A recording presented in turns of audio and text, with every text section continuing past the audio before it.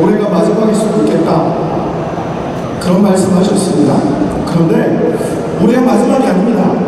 올해도 뵙고 내년에도 뵙고 후년에도 뵙고 건강하게 매년마다 뵀으면 좋겠고요.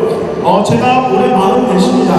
아마 어, 고엽제 그 전후에 그리고 자녀로서는 나이가 꽤 어린 나이에 속하지만 우리 멋진 아버님들을 통해서 제가 대한민국에서 최고의 대학교에서 공부를 마쳤고요. 최고의 과정을 통해서 현재는 이렇게 협회라 가수로 활동하고 있습니다. 다시 한번 감사하고 피, 그 흘림에 제가 큰점 한번 올리겠습니다.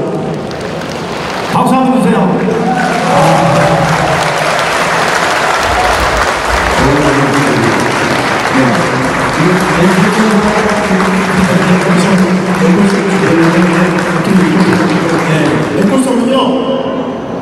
제일 좋아하는 노래인데 우정의 노래라는 노래가 있습니다. 혹시 아십니까?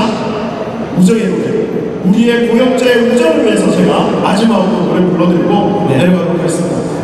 주세요. 박수 한번 하겠습니다. 무더기 노래